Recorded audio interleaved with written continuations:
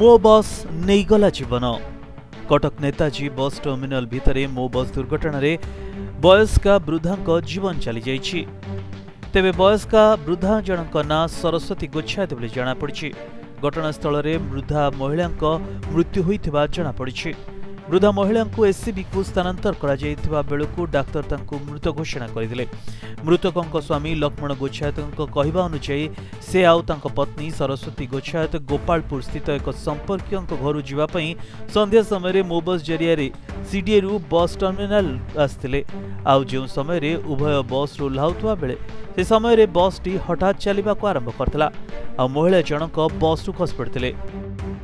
आम स्वामी स्त्री दीजा से बस मो बस बसिक गोटे सीट आसल बादामबाड़ी स्टपेज बस स्टाड भितर ओल्लु मो बस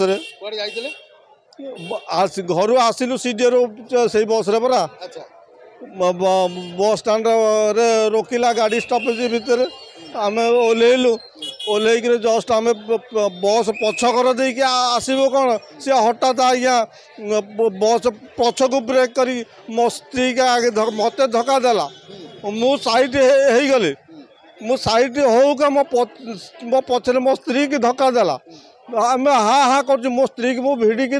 धरू टाणी की आने पर मो स्त्री से गाड़ी चढ़े सी मद कहीं निश्चित गाड़ी चलिए आज्ञा तेज निकट समस्ते ବା ସମସ୍ତ ଯାତ୍ରୀ ବସ୍କୁ ଅଟକାଇବା ପାଇଁ ହୋହଲ୍ଲା କରିଥିବା ବେଳେ ଦେଖୁ ଦେଖୁ ବସ୍ଟି ସରସ୍ୱତୀଙ୍କ ଉପରେ ହିଁ ଚଢ଼ିଗଲା ଆଉ ଯାହାଫଳରେ ଘଟଣାସ୍ଥଳରେ ମହିଳାଙ୍କ ଜୀବନ ଚାଲିଗଲା ଏ ଘଟଣା ଘଟିବା ପଛରେ ଚାଳକ ହିଁ ଦାୟୀ ବୋଲି ଅଭିଯୋଗ କରିଛନ୍ତି ସ୍ୱାମୀ ଲକ୍ଷ୍ମଣ କାହିଁକିନା ସେ ମୋ ବସ୍ ଚଳାଉଥିବା ବେଳେ ନିଶାସକ୍ତ ଅବସ୍ଥାରେ ରହିଥିଲେ